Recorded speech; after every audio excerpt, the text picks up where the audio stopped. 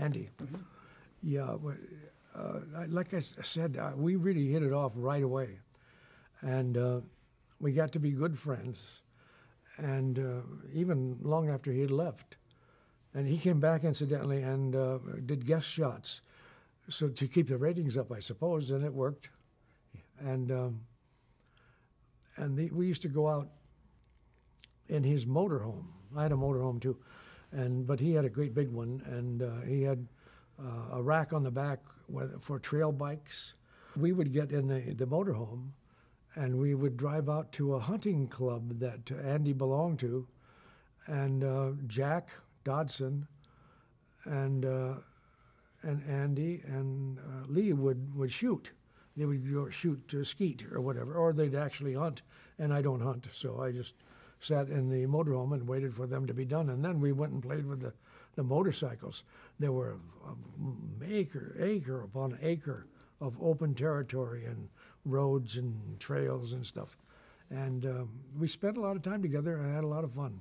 Ron, of course, didn't stay on with uh, the cast of, of Mayberry RFD, but I got a chance to uh, meet him and work with him.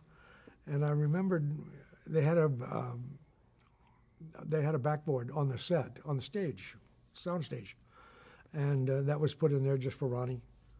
And um, and we shot baskets. We played horse and stuff, you know, on, on the stage, and played the banjo and the guitar and stuff. And it was a good place to work. It was fun. And I remember uh, going away, uh, having worked with Ronnie, and thinking, "What a great kid! Boy, his parents must have did must have done something right. You know, he was a great kid. I wonder whatever happened to him. Didn't go anywhere. Frances, oh, I liked her so much, uh, but she was this actress, you know, and I think that she wanted to be known uh, the way some of her contemporaries were known as this uh, theatrical um, actress, you know. And, but she had gotten this job as playing Aunt Bee and became famous for it, you know. And she didn't really appreciate it that much, I don't think, until later on in life.